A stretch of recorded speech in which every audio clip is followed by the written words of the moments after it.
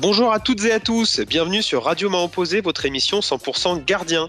Au sommaire de cette deuxième émission, un débat sur les prestations de ce week-end et celles à venir de nos gardiens représentants en Ligue des Champions et en Europa League. Un tour par la buvette pour parler des actus gardiens qui nous ont marqués à la mi-temps. Et enfin, un quiz sur des portiers de légende. Sans plus tarder, la compo de cette émission.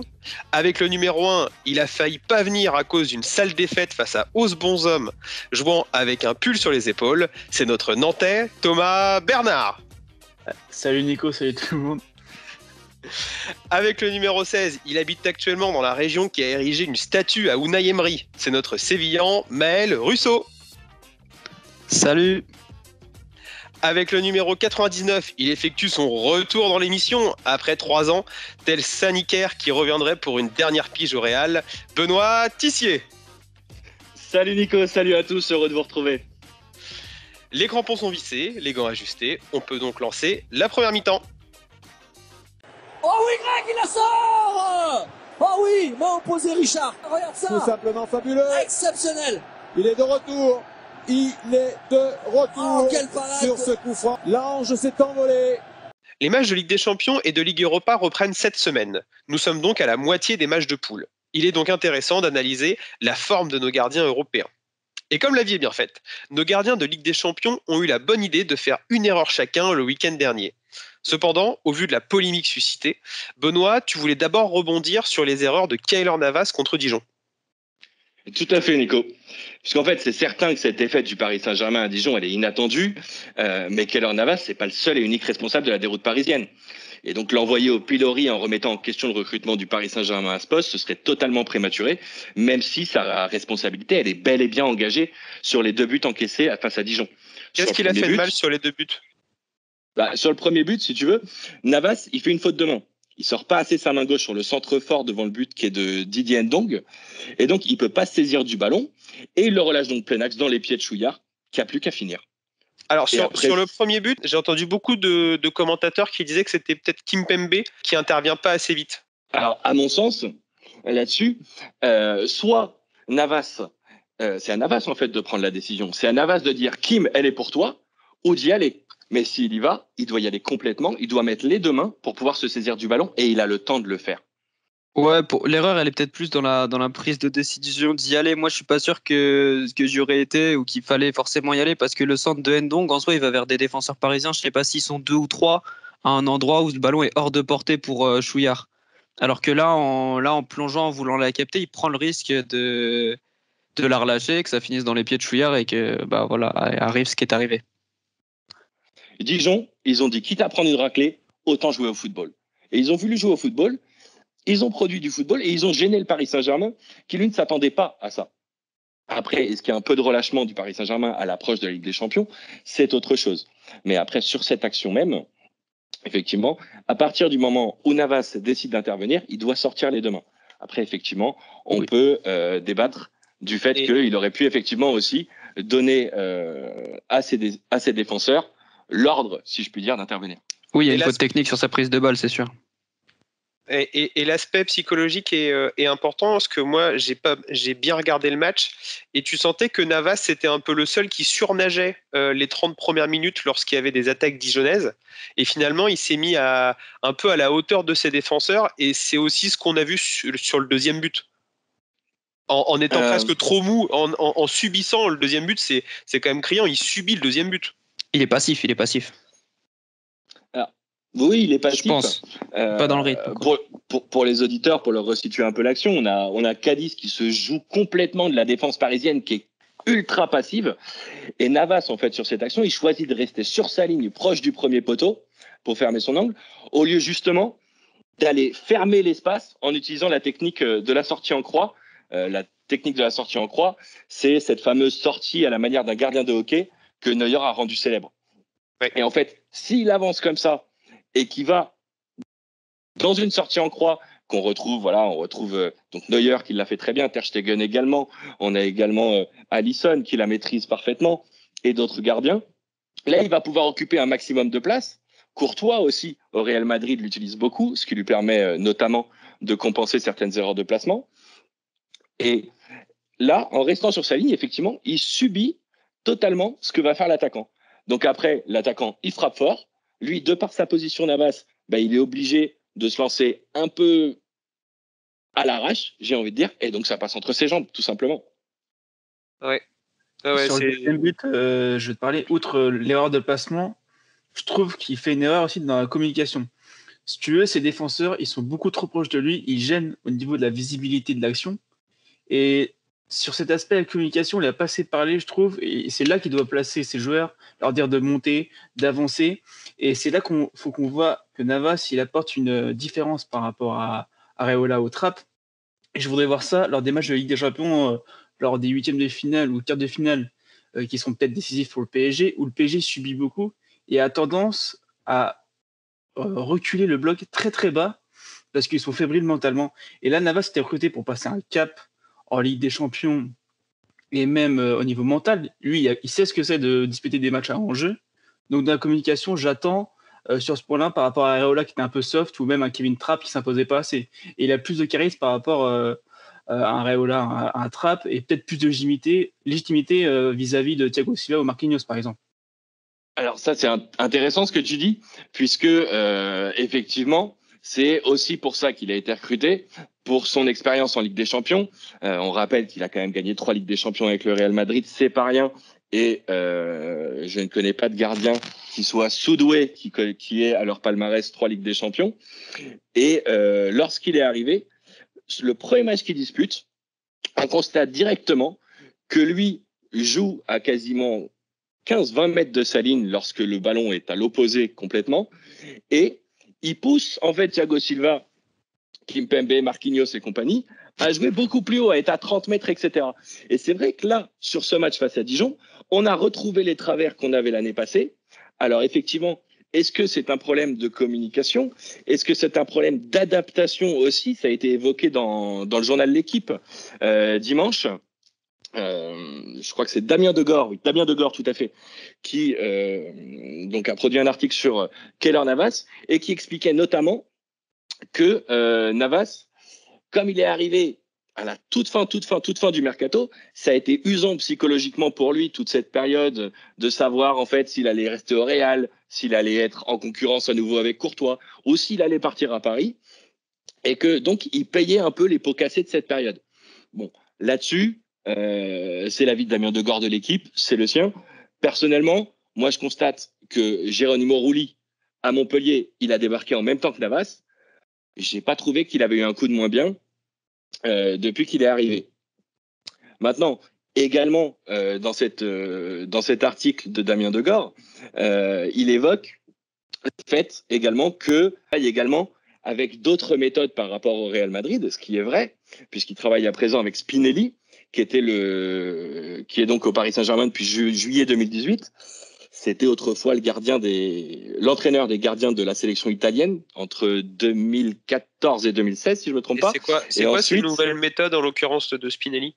Et ensuite, il était à Chelsea de 2016 à 2018. Et en fait, euh, ce que De Gore donc, nous dit, c'est qu'il travaille euh, en fonction des actions de match dans le modèle à la française.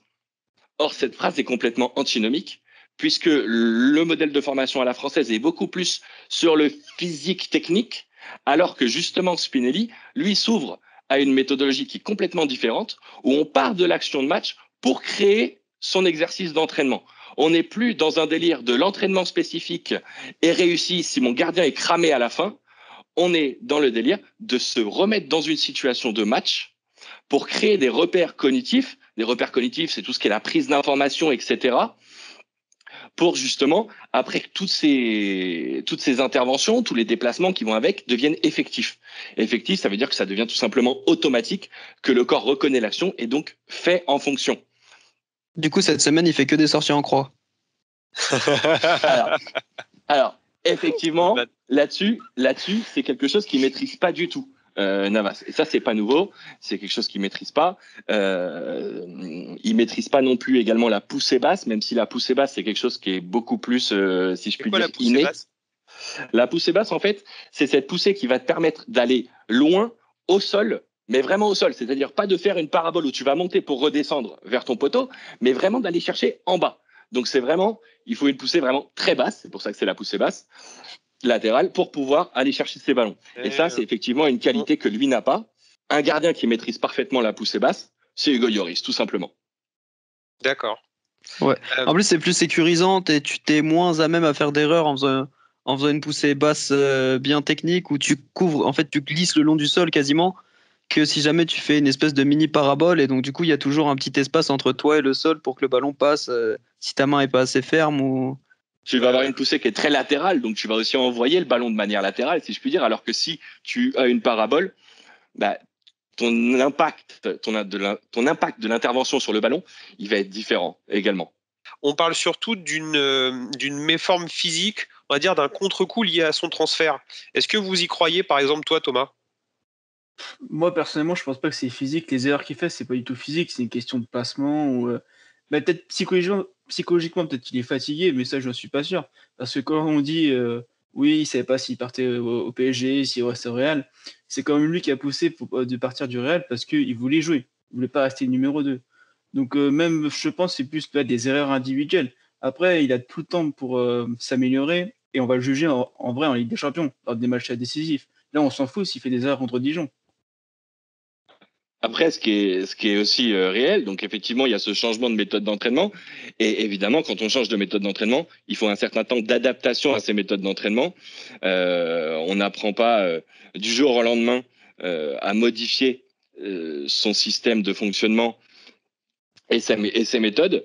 Mais euh, c'est vrai que voilà, au contact de Spinelli, on peut, on peut penser que Navas peut progresser sur, sur certains aspects. Alors, vous allez me dire que on aurait pu penser qu'Areola aurait pu progresser sur certains aspects au contact de Spinelli, mais euh, voilà, c'est vrai qu'on part d'un gardien qui a quand même un très haut niveau de compétition, qui est un gros compétiteur. Son palmarès le prouve directement. Et euh, vraiment, je pense qu'il n'y a pas de raison de s'inquiéter euh, plus, plus que ça de cette mauvaise soirée euh, du portier parisien à Dijon. Ça arrive même au meilleur. Je ne dis pas que c'est le meilleur, mais ça ne, veut, ça ne fait pas de lui euh, un cancre dans les buts, Mais- loin de là. Et il a jamais, il a jamais vraiment euh, déçu en Ligue des Champions, surtout dans les matchs euh, compliqués. Et il a parce qu'on parlait beaucoup de l'équipe du Real. euh, on disait beaucoup Ronaldo, ça tournait autour de Ronaldo, mais il y a des années où c'est Navas qui, qui les emmène en finale quasiment. Et puis il y a une année où je me souviens, il est, et clairement, il est, il est pas bon. Euh, il est pas bon entre septembre et janvier euh, en championnat. Et dès qu'arrive février, mars, les matchs importants en Ligue des Champions, il sort des matchs, mais vraiment incroyables. Et, et c'est en grande partie grâce à lui que le Real euh, se retrouve en finale. euh, Je crois que c'est la deuxième ou la troisième année de, de leur triplé. Je vais mouiller un peu et faire une conclusion hâtive. Pour moi, c'est le meilleur gardien du PSG depuis l'ère Qatari. Ça c'est posé. Très bien. Mais comme il n'y a pas que le PSG dans la vie, ouvrons rapidement le cas Anthony Lopez. Encore une erreur contre Toulouse après son erreur face à Benfica. Est-il par moment trop ambitieux dans, son- dans ses choix? T'en penses quoi, Thomas? Oh, trop ambitieux, je sais pas, ça a toujours été son style d'effectuer des euh, interventions assez audacieuses. Là, cet après-midi, j'ai regardé le but qu'il encaisse face à Toulouse.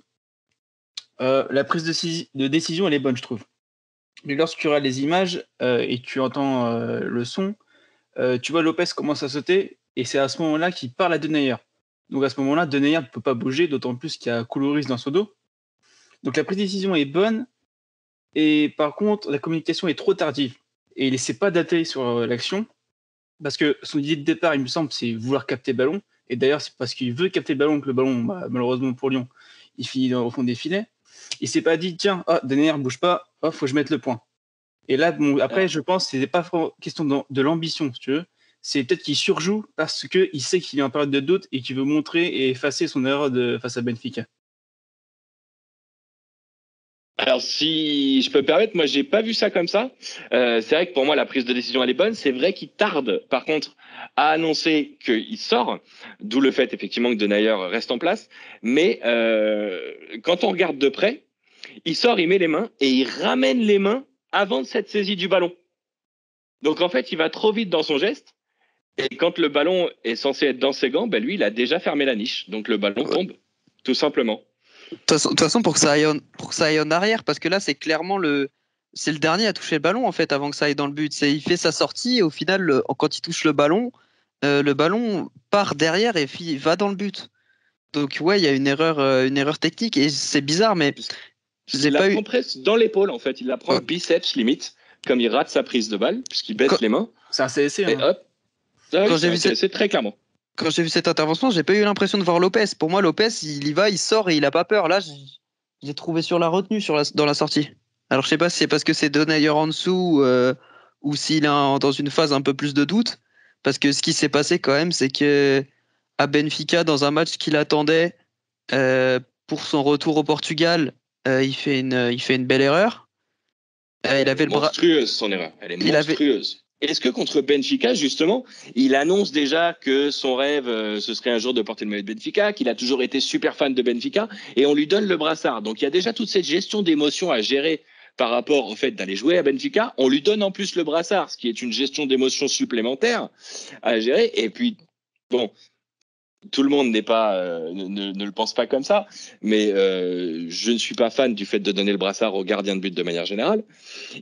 Et donc, on se retrouve dans cette situation, et là, effectivement, il fait une erreur, mais qui est monstrueuse. Euh, cette relance où il prend pas l'information euh, du positionnement des joueurs, relance plein axe, et boum. Ouais, il a foire surtout. Je pense qu'il veut pas du tout la mettre là. hein. Si, il veut la mettre, mais il- il a pas vu, je pense, que le joueur de Benfica arrivait. Ah, si. il s'est euh, fixé sur son joueur de Lyon, il s'est dit euh, je veux relancer, Ah. on gagne, faut qu'on gagne, et il a pas vu. Donc, c'est ce Si. qu'on disait avec Benoît, c'est les Ouais. émotions. Si je Ouais, peux me bah, permettre, si je peux me permettre sur cette euh, sur cette relance, il a fait la même contre le Zénith euh, à Lyon, où il a où cette fois-ci cette relance est passée et ça a, et ça a entraîné une une, une action de but. C'était une relance qui a fini presque au- à la ligne médiane pour Jeffrey Adelaide et qui avait entraîné en tout cas une bonne situation de l'OL. C'est pour ça que ce genre de relance, il est habitué, mais peut-être que comme comme tu l'as évoqué, il y a eu le, le facteur euh, émotion qui a fait que bah il a il a pris trop de risques quoi. Celle-là, quand tu la fais, faut être sûr. hein, parce que t'es- t'es d'un côté de ta surface, t'es même pas dans l'axe de ton but. C'est-à-dire que là, il est, d'un, il, est, il est à l'angle de sa surface, il met son ballon dans l'axe. Donc si jamais euh, il foire sa passe ou même si son joueur foire son contrôle, il n'y a plus personne dans le but derrière. Oui. C'est vraiment Et- très, très, très dangereux. Et effectivement, ce type de relance peut être hyper intéressant, effectivement, pour lancer un contre. Mais pareil, il faut prendre les informations préalablement, savoir où se trouvent tes partenaires et tes adversaires et voir s'il y a les espaces. Parce que s'il y a le bon espace, effectivement, pour la mettre, c'est génial. Mais si l'espace n'est pas disponible, ça finit en catastrophe. Surtout une relance comme ça dans l'axe, c'est souvent à l'issue d'un corner, d'un coup de pied arrêté. Là, c'était une euh, situation normale, c'était pas une situation de contre-attaque. Oui, c'est vrai. C'est vrai, c'est vrai. Donc, est-ce que vous pensez que euh, Anthony Lopez euh, va remonter la pente mentalement? On sait qu'il est quand même, il est quand même dans l'œil du cyclone après avoir eu bah, le plus haut salaire du club, hein, 400 000 euh, euh, 400 000 euros euh, mensuels, je crois. Et est-ce qu'il peut s'en sortir? Par exemple, il y a quand même Tataroussanu qui tape à la porte derrière. Il n'est pas parti s'échauffer, lui, d'ailleurs, après la boulette. Je crois que j'ai vu. Hein. J'ai vu un truc comme ça, je suis pas sûr, mais. Après, euh, Carter il va aller re- regarder sa confiance à Lopez, mais vrai, tu peux compter aussi sur euh, Grégory Copé pour euh, l'aider à retrouver la confiance. Et puis euh, aussi euh, pour Lopez, il y a du crédit auprès de ses coéquipiers et des supporters parce que ces dernières années, euh, Lopez il a fait des gros matchs, il a souvent euh, porté Lyon sur ses épaules. Et en plus, là, si demain, avec euh, Lyon, il fait un gros match contre Benfica et ce week-end contre Marseille, hop, on n'en parle plus. hein. C'est sûr. Par contre, l'hi- l'histoire de l'histoire avec Tataruzanu, euh, c'est peut-être tout sauf un hasard que ça se passe mal à ce moment-là. C'est-à-dire que là, la concurrence des gardiens, on l'a on l'a jamais trouvé saine au sein de, de Lyon cette année parce que Tataruzanu, il est arrivé clairement pour être euh, numéro un, il l'a dit en arrivant. Et il a eu l'impression de se faire un peu avoir en arrivant et en comprenant qu'il serait pas numéro un. Et il l'a d'ailleurs dit publiquement, il s'est s'est jamais cassé de dire les choses publiquement, Tataruzanu, et, et en plus, donc c'est vraiment ce qu'il pense derrière aussi. Je sais pas si c'est une bonne chose aussi ça dans un, dans un groupe d'avoir deux gardiens dans une concurrence vraiment, vraiment pas saine. On sait qu'à Lyon, c'était souvent euh, un numéro 1 et un numéro 2, c'était bien marqué. Quand c'était Vercoute qui était numéro 2 ou que c'était Gorgelin, euh, il n'y avait pas d'état d'âme. Enfin, ils n'étaient pas là à essayer de piquer la place de l'autre à tout prix. Là, je suis pas Après- sûr de ça. Après, il me semble aussi que Lyon euh, cherche aussi, en recrutant Tatarusanu, à dire à Lopez, si tu re-signes pas, c'est pas grave, on a ce qu'il faut derrière. Ouais, mais, que en même temps, mais en même temps, si tu re-signes, c'est Tatarusanu, donc tu es toujours devant. Donc d'un côté, je pense effectivement que Lyon sur ce coup-là. a- Mais c'est normal, le club a pensé à lui, au club, avant de penser à- aux, aux joueurs, aux gardiens. Et donc, ils ont, ils ont fonctionné de cette manière. Après, effectivement, Tataru Sanou avait demandé à être prêté, au moins si possible, euh, avant la fin du mercato. Ça n'a pas, été- pas été possible. Mais euh, même si Lopez, effectivement, voilà, a, des, a le plus gros salaire du club actuellement, même si son match euh, restera pas dans les annales, enfin, c'est euh, bon, il fait quand même quatre arrêts sur cinq tirs cadrés. Bon, il est sauvé deux fois par les poteaux. Euh, D'ailleurs, Lyon cette année, euh, ça pourrait ne plus être euh, penalty pour Lyon, mais poteau pour Lyon. hein. Enfin, po- poteau en faveur de Lyon, puisque c'est le cinquième de la saison qui sauve Lopez, hein, ce, penalty en, Ligue 1, ce poteau en Ligue 1, pardon. Et, au niveau de, de sa saison en Ligue 1, il est à quasiment 78% d'arrêt en Ligue 1. Donc c'est quand même des très bonnes statistiques.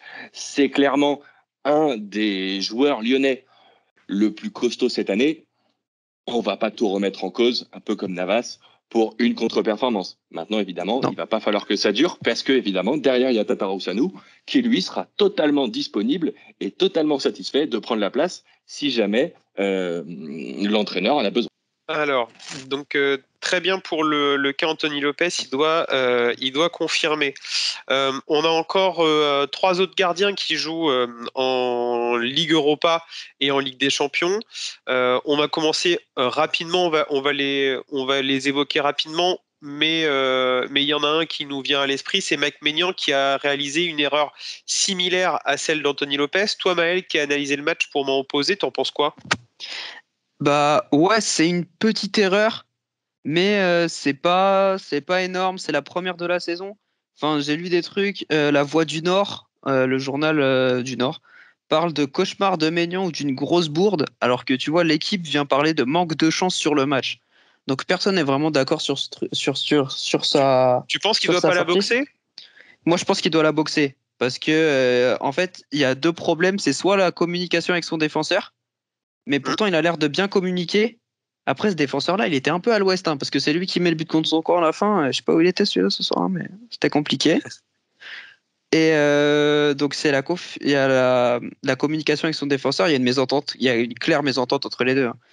Et euh, il y, a- il y a une petite sortie à, il y a une petite sortie à contre-temps à la fin de la première mi-temps euh, où, où Maignan est pas dans le tempo et, et il va percuter Benedetto en étant le deuxième sur le ballon, sauf qu'il y avait hors-jeu, donc ça ça a pas compté. Mais je sais pas si du coup le défenseur a ça en tête quand il s'écarte pas, mais c'est un peu bizarre. Et euh, puis il y a un problème dans la prise d'information puis de décision, parce qu'en prenant son impulsion, du coup, il, a- il a communiqué avant. Il doit voir que son défenseur va pas bouger et il doit, il doit boxer pour pas prendre de risques. Parce que bloqué, bah, c'est plus dangereux, sachant qu'il va retomber sur son défenseur. Il y avait Franck Raviot dans, dans les tribunes. Tu penses que ça peut jouer euh, sur, son, sur son statut en équipe de France? Il y a la liste euh, jeudi. Non, ça jouera pas. La, la liste Le- euh, pour les gardiens, il n'y a, pas de- y a, pas de- y a pas de suspense. hein. Ça va être Mandanda en 1, Areola en 2 et euh, Maignan en 3. Ah, parce que le compte, il a fait une super partie hier. hein. Le compte, Voilà. il a fait un, un début de saison euh, où il n'est pas à la hauteur ni rien. euh, ça contre- Ah, m'étonnerait pour le compte.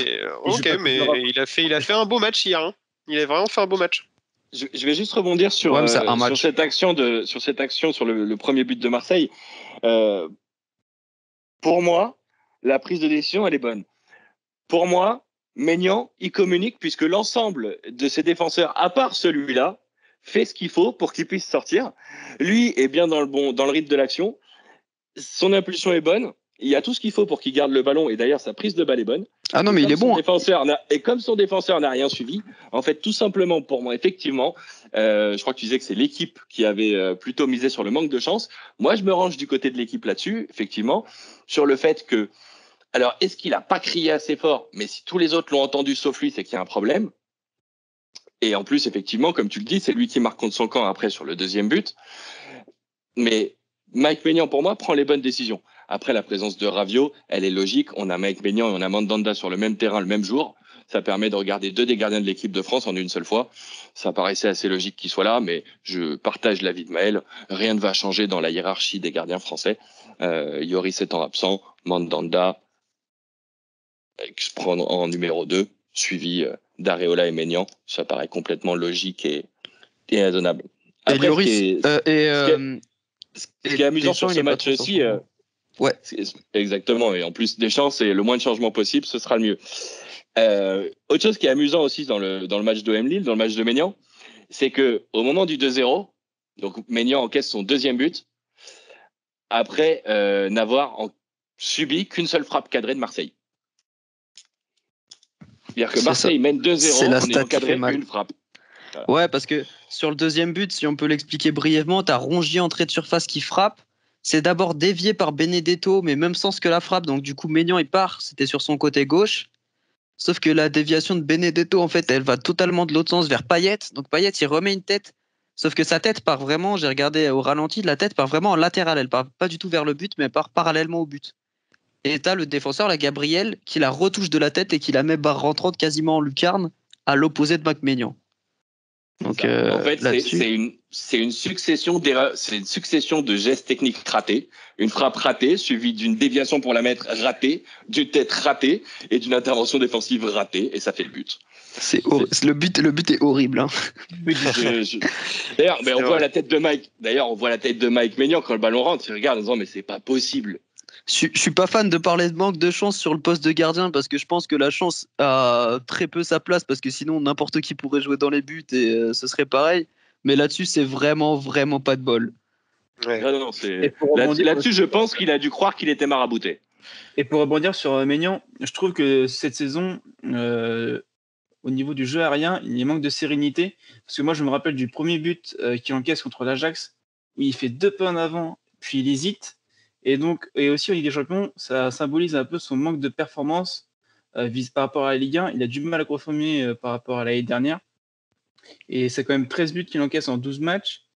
Euh, S'il veut espérer, on euh, euh, postuler pour un poste en équipe de France à moyen long terme quand il n'y aura plus Mandanda ou Olioris, il faudra qu'il s'améliore au niveau de ses performances en Coupe d'Europe, voire qu'il parte de Lille. À noter dans notre temps additionnel que également Stéphane Ruffier va retrouver la Ligue Europa.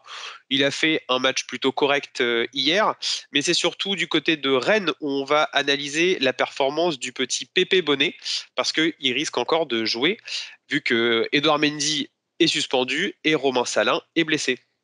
Il aura son coach des gardiens derrière le but encore ou, ou ils vont arrêter ça? Ah oui, oui, oui, pour, pour rappeler après, euh, je pense qu'il faut être, euh, il faut être clément euh, pour ça. Pour ta première, tu rentres, tu rentres sur un confront contre toi et tu as 16 ans en, en Europa League. Ah, t'es pas prêt, hein Non, t'es pas prêt. t'es pas prêt. La gestion des gardiens à Rennes, avoir un troisième gardien qui a 16 ans, pour, pour une équipe qui joue la Coupe d'Europe, c'était pas normal. Mais c'est quand même fait garder pas... Québec mais c'est vraiment pas de bol en fait pour Rennes parce que ils vont chercher Mendy et c'est un super bon choix. Et ils vont chercher également Romain Salin qui ramène en France pour avoir un deuxième mec également de qualité et qui en plus a une super mentalité et qui arrive en disant moi je viens comme numéro 2, je prendrai la place au début de saison puisque Mendy n'est pas disponible et après je lui redonnerai et chaque fois qu'il aura besoin de moi je prendrai la place et je lui rendrai à chaque fois. Et quand on a d'entrée en début de saison une philosophie comme ça qui est installée au sein de, du groupe gardien, mais on sait que ça va bien se passer. On parlait de, du groupe gardien à Lyon, mais là, on a tout l'inverse à Rennes. Et on a deux gardiens de bonne qualité. Et là, pas de bol, il y en a, les deux, les deux sont indisponibles. Et donc, effectivement, on est obligé de se tourner vers le numéro 3, qui est un jeune de 16 ans. Mais s'il est numéro 3 à 16 ans, c'est que c'est aussi un jeune qui a des qualités, qui donc, a priori, a plein d'avenir, ou du moins un avenir. Euh, et donc, il faudra lui donner du temps de jeu, il faudra lui donner la possibilité. Si on le laisse en cinquième choix du club, ce jeune, il jouera jamais avant l'âge de 22-23 ans. Très bien. On siffle la fin de la première mi-temps. On s'est bien dépensé. Il est temps de passer par la buvette. Bah, je ne dirais pas que l'équipe en face est meilleure que nous. L'équipe en face euh, a bien défendu avec 11 euh, à 35 mètres du but. Euh, et ils ont fait ça tout le tournoi. Et cette semaine, nous commençons par un petit tapas avec Maël. Maël, qu'est-ce qui t'a marqué? Moi, je voulais vous parler d'Unai. Alors, celui qui réussit, hein, pas celui d'Arsenal et qui est toujours dans les cauchemars de Benoît et des supporters parisiens. Je parle d'Unai Simone. Ce week-end, j'étais devant Villarreal Athletic Bilbao. Et là, je vois ce jeune gardien basque de 22 ans donc qui est à Bilbao. Euh, et, je suis assez impressionné, faut le dire, par son match. Donc je commence à me renseigner sur lui. Et donc oui, je découvre qu'il a, a que 22 ans. Et à l'été 2018, Bilbao le prête en seconde division euh, en juillet, euh, enfin pendant en plein milieu du mercato. Sauf qu'ils vendent Kepa et Herrerin se blesse. Du coup, il rappelle en urgence à la fin de l'été, en août. Et cinq jours après être revenu, il, dé- il débute sur, euh, sur les terrains espagnols, premier match de Liga. Lors de la troisième journée, il est élu homme du match contre le Real Madrid. Mais en manque de résultats, il jouera que 7 matchs cette saison-là. Et euh, cette saison, il est redevenu numéro 1. Il a la tête de la co-meilleure défense de Liga. On peut même pousser le vice en disant que c'est le gardien qui a pris le moins de buts parce que euh, a, joué un match de moins euh, que. Et, donc, du coup, il a pris que 6 buts parce que Herrerin a pris un but sur le premier match de l'année. Et là, il reste sur deux clean sheets consécutifs, dont le dernier, c'était dimanche contre Villarreal, du coup. Villarreal, il restait quand même sur 24 matchs en ayant marqué. Et là, il réalise 7 parades. Il est une nouvelle fois homme du match. Donc, euh, gros, gros début de saison de sa part à suivre. Très, très prometteur. Ouais, et euh, tu- pour réagir euh, sur Unai Simon, il a bien réagi par rapport à l'été dernier. Parce que bon, l'été der- l'été dernier, il était avec l'Espagne lors de l'Euro Espoir. Il débute comme titulaire face à l'Italie. L'Espagne perd le match et euh, le, son coach décide de le mettre sur le banc. Et donc, il va voir le sacre de ses coéquipiers euh, sur le banc. Et donc, il a bien réagi mentalement. euh, Il a bien digéré peut-être cette déception malgré le titre. Donc, ouais. Et j'avais découvert aussi, comme disait Maël, j'avais regardé son match face au Real l'année dernière, j'avais trouvé vraiment impressionnant. Et Bilbao, quand même, c'est deux gardiens qui sortent entre Kepa et Unai Simon. À suivre, peut-être que l'école de formation basque est peut-être a des secrets. Ouais, c'est du, du côté de San Mamés. Et, et du coup, Thomas, toi aussi, tu euh, toi aussi, avais un petit tapas euh, pour nous du côté, euh, du côté de, de l'Espagne? Ouais, on va rester en Liga parce que bon, ce samedi, j'ai noté pour m'imposer Séville Atlético et je voulais revenir sur la performance de Thomas Vaklik, le portier tchèque du FC Séville. Donc on est à la 71e minute de jeu. L'arbitre ici fait un penalty pour l'Atlético Madrid. Le score de 1 partout. Donc c'est Diego Costa qui va tirer le penalty. Il tire le penalty sur la droite à mi-hauteur de Thomas Vaklik. Euh, le portier il fait un super arrêt à mi-hauteur. Il se relève très rapidement, euh, puisqu'on voit au niveau de sa position corporelle, ses appuis sont dynamiques, le corps en avant. Il fait 2-3 pas vers l'avant pour réduire l'angle à Coquet qui avait suivi. Coquet frappe au sol et réalise une double parade en stoppant un arrêt réflexe du pied. Et à partir de ce moment-là, les 20 dernières minutes, dans un Sanchez Pirouane euh, bouillant, euh, il a métamorphosé l'équipe qui s'est transcendée, euh, ça a changé la phase du match il y a eu un impact psychologique sur le match. Et je voulais si- signaler, cette double parade parce que Vaklik, l'année dernière, qui était arrivé en provenance de Bâle, il a connu une saison assez difficile avec Paolo Machin l'année dernière. Il a connu quelques difficultés. Et là, je trouve qu'il revient bien. Et en parallèle, lors de ce match, face à Atlético Madrid, tu as Oblak qui fait une faute de main qui est assez inhabituelle. Donc, euh, pour une fois, on peut dire que Oblak n'a pas été le meilleur gardien sur ce match-là. Bon, par contre, c'est la dernière fois que tu me parles de euh, fin les 20 dernières minutes bouillantes à Sanchez Pizjuan. Hein. Bon, mon, pa- mon père, il m'en parle encore. hein. Ah oui, Je veux pas ah oui. entendre ça. Un gardien qui enflamme Sanchez Pizjuan, euh, non, non, non, non, Baptiston, c'est encore là. hein. En tout cas, je, je m'en arrête. L'autre. Bon, très bien. C'est marrant ce que tu nous racontes. euh, c'est marrant ce que tu nous racontes Thomas parce que Oblak fait une faute de main. Ah, mais donc si on reprend le début, donc on a Navas qui fait des erreurs, on a Lopez qui fait des erreurs, on a Maignan qui est pas au top, on a Oblak qui fait une faute de main et on a Neuer qu'on a pris euh, je sais plus Cinq. combien ce week-end. 5, 5 Il en, a pris, il en a pris 5 ce week-end, même s'il n'a pas grand-chose à se reprocher dessus et que le Bayern est à 10. Donc ça fait quand même 5 gardiens là, comme ça, euh, qui jouent la Ligue des. Champions.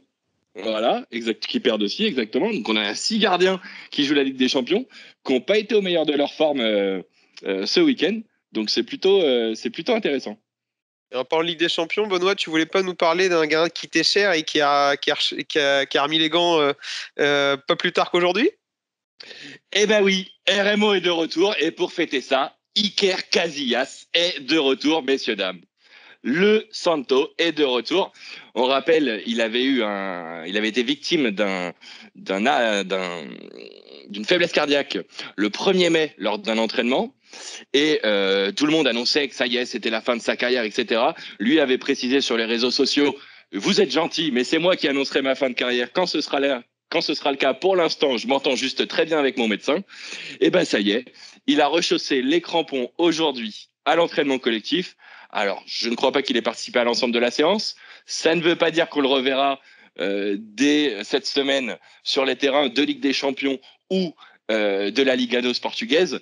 Mais euh, voilà, Iker est de retour et tout laisse à penser que donc il devrait rechausser les crampons en compétition d'ici la fin de saison au moins une fois.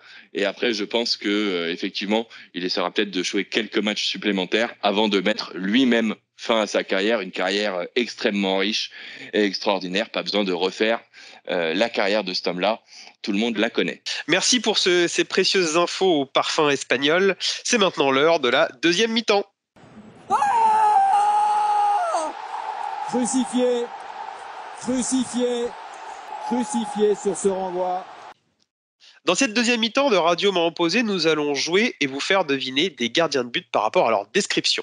Pour, eux, pour ceux qui ont suivi la première émission, le gardien à trouver était Thomas Ravelli, le fantasque gardien suédois.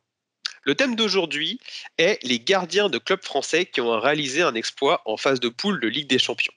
Donc, la Ligue des Champions, c'est entre 92, donc septembre 92, et aujourd'hui.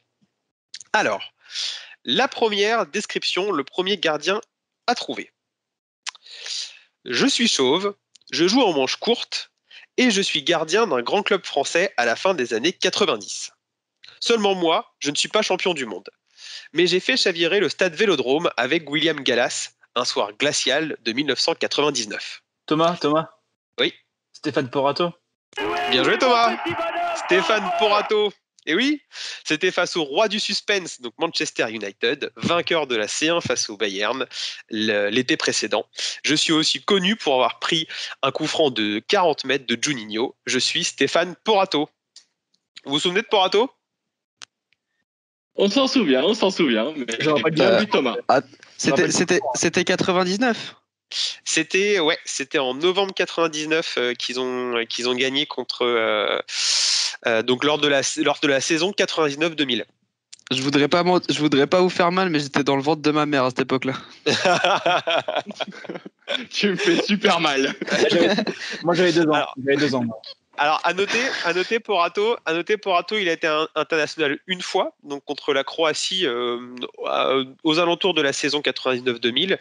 Il a perdu en finale contre Parme en 99, la finale de la, de la Coupe de l'UEFA sèchement 3-0, et il est maintenant entraîneur. Alors, ensuite, je suis originaire d'Avignon. J'ai joué pour deux clubs du sud de la France qui ont été rivaux dans les années 80. J'ai été le numéro bis de Barthez en club. J'ai gagné contre le Bayern en Ligue des Champions, mais je me suis fait dans ma carrière les ligaments croisés lors d'un match de charité et le tendon d'Achille Benoît. en fin de carrière.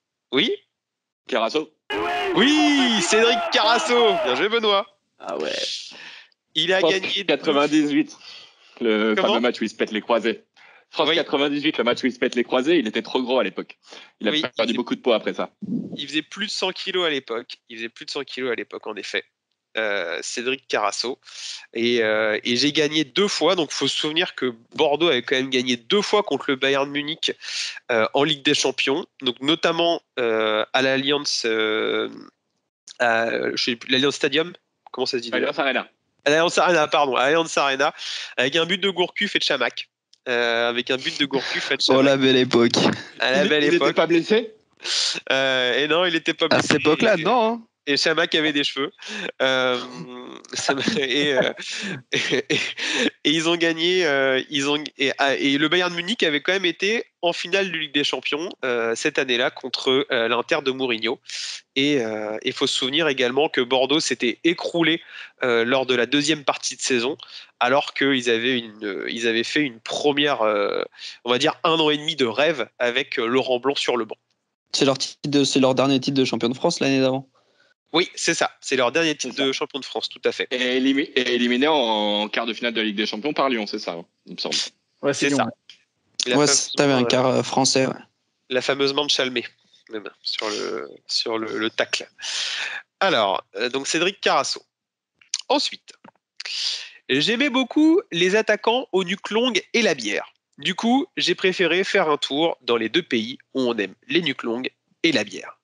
Mais avant ça, j'ai joué pendant 10 ans pour le même club. Thomas, J'ai gagné Oui. Guillaume Vermuse Waouh Bien vu Thomas. C'est quoi Qu'est-ce qui t'a mis sur la, sur la voie? Euh, Ouais. La bière. La bière. Je finis ma description. Avant ça, j'ai gagné un championnat en 98, puis éliminé de grands canonniers et leur Big Four mythique avec des gars comme Mika Debev, Mika Debev buteur, Sibierski ou encore Tony Vérel. Je suis le gardien mythique de la fin des années 90 de Lens. Je suis Guillaume Varmus, qui avait fait un petit tour du côté d'Arsenal pour une saison et du côté de Dortmund, où il avait été plutôt bon. Il a fini sa carrière à Monaco. Voilà, Guillaume Varmus. Alors, bah, de 1 pour, Thomas. De 1 pour Thomas. Euh, et on fait la quatrième description. J'ai les cheveux longs et j'ai joué pour un grand club français des années 2000. J'ai plutôt bien réussi face aux clubs espagnols. Et je suis connu pour être l'arrêt le plus regardé sur YouTube grâce à un double arrêt en 2001 dans une défaite. Thomas. Maël. Thomas. Thomas. C'est Thomas. Coupé. Bien joué Thomas. Greg Coupet, et oui, c'est le, euh, c'est l'arrêt le plus regardé sur YouTube avec euh, l'arrêt de Gordon Banks. Exceptionnel. C'est Cassapa qui fait, euh, non, c'est d'abord Cassapa qui fait une mauvaise, euh, une, une mauvaise passe à Coupé. Coupé la sort de la tête sur la barre et il se relève et c'est Rivaldo qui met la tête euh, où il la sort. On se demande encore comment, mais euh, Euh, Voilà. Surtout que c'est- pas la tête de n'importe qui, c'est vraiment la tête de Rivaldo, quoi. C'est pas. euh, du Ballon d'Or 99 en effet. c'est- pas un mec qui lui met la tête dans ses bras au moment où il se relève, quoi. Elle est vraiment, vraiment loin. En même temps, Rivaldo valait mieux que ce soit sa tête que son pied gauche en même temps. Mais, mais il est pense- fantastique cet arrêt. Je, pense- qu'à ce moment-là, Coupé, il allait la chercher partout dans le but. Hein. Je sais pas, je sais pas comment il était, mais il était en transe ou je sais pas, je sais pas comment, je sais pas dans quel état il était, mais ça aurait pu être son pied gauche, son pied droit, sa tête. Il allait la chercher partout. Greg Coupet. Et donc, euh, bah, pour la petite histoire, ils perdent ce match 2-0. Mais euh, il faut se souvenir également que Coupet, c'est euh, le gardien du Grand Lyon qui a battu deux fois le Real Galactique en, phase de poule en 2005 ou 2006 euh, de, la, de la Ligue des Champions. La dernière description, donc là pour le fun, vu que Thomas est déjà le grand gagnant de notre quiz. Je suis un grand gardien par la taille et par le mental. Je trouve mon heure de gloire en deux saisons champion de D2, puis troisième de D1, avec un coach rigide comme on n'en fait plus. Je réussis à sortir le Grand Parme en tour préliminaire, puis je tiens tête aux Red Devils lors des phases de poule avec des gars comme Johnny Ecker, Dagui Bakari ou encore Ah, Stéphane Pichot. Je suis. Ah, je l'ai Ah Ah, je suis Grégory Vimbé Ah, Grégory ouais, Vimbé j'ai hésité, ah oui. Grégory Vimbé. Alors, Je pour me la petite rappelle encore de la frappe, je me rappelle encore du coup franc extraordinaire de Ecker face à Manchester. Il gagne 1-0, un coup franc extraordinaire. Alors, Une attends. frappe de mule. Ça fait un 1. Cette- Et la frappe, elle est extraordinaire. Si elle doit être disponible sur YouTube, a priori, j'imagine. N'hésitez pas à y aller. Ça, c'était un sacré beau but. Mais une frappe Alors, de mule. C'est alors le, le coup franc, c'est contre Parme. Le coup franc, c'est contre Parme. C'est le, le coup franc de Johnny Parme. c'est contre Parme. Oui, c'est contre Parme. En, euh, ah, c'est sûr, c'est sûr, c'est contre Parme euh, en quand il gagne bah, 0-1 à- que- quand il gagne euh, quand il gagne à, à Parme en fait et, et il se qualifie. Il gagne 2-0 à Parme pour se qualifier pour les les phases de poule. Et en fait, ils font 1 à 1 contre contre les Red Devils en en phase de poule.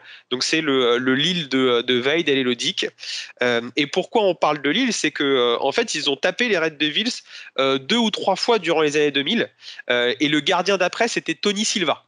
Tony Silva qui, euh, qui jouait euh, et ils les ont même tapés en 2005 euh, donc avec euh, euh, Van Nistelrooy. Euh, mais, euh, on va dire l'origine, c'est le, euh, le 0-2 euh, de, de Lille contre Parme et le 1 1 euh, lors de cette Ligue des Champions. Voilà. Donc euh, on, avait, euh, on avait Grégory Vimbé. Et enfin, une description pour les auditeurs. Donc euh, vous aurez la réponse, euh, lors de la prochaine émission. Je suis l'un des grands guys next door de notre championnat. Un peu ton pote cool, facile à vivre, partant pour tout. Pourtant, j'ai joué avec l'équipe la plus stylée du début des années 2000. Des maillots moulants, un DJ supersonique, un sponsor de console, une, charnière internationale et un coach mythique. Je tape la grande équipe des Gunners du début des années 2000. Je suis... Et là, c'est à vous de trouver. Et vous aurez la réponse lors de la prochaine émission. Il est l'heure de nous quitter, mais Benoît, je crois que tu voulais dire le mot de la fin pour une formation gardien de but très pointue. Eh oui, en effet, Nico, parce que main opposée et partenariat euh, de cet événement, une formation proposée par RTM Goalkeeper, Revolutionary Tactic Methodology, une formation qui est proposée par Thierry Barnera. Thierry Barnera, qui est donc instructeur FIFA pour les gardiens de but et qu'on avait eu la chance d'interviewer euh, en début d'année, je crois que c'était au mois de février. Et c'est justement un entraîneur, enfin un instructeur FIFA pour les gardiens de but, qui lui tourne toute sa méthodologie à partir des actions de match justement et euh, tout l'aspect cognitif du gardien de but, puisque euh, aujourd'hui d'un point de vue physique, on atteint les limites pour le gardien de but. D'un point de vue technique, ça commence à devenir compliqué d'apprendre plus que ce qu'on sait déjà. Et donc, il faut aller chercher autrement. Il faut aller chercher tout simplement au niveau cognitif, donc dans la prise d'information, au niveau cérébral également, ce qui se passe pour traiter plus vite les informations et pour pouvoir être plus performant. Et voilà. Et donc, cette, pro cette formation, qui donc dure deux jours, est proposée donc les 16 et 17 novembre par Thierry Barnera sur Paris. Je vous invite à euh, vous rendre sur notre site. Vous retrouverez toutes les informations euh, nécessaires pour vous inscrire à cette formation. Ne manquez pas cette opportunité. Et c'est en partenariat, comme je le disais précédemment, avec Main Opposée. Merci Benoît, merci Maël, merci Thomas pour votre participation. Euh, n'hésitez pas à nous donner euh, vos avis en commentaire de notre émission et nous vous disons à très vite pour un autre Radio Main Opposée. Portez-vous bien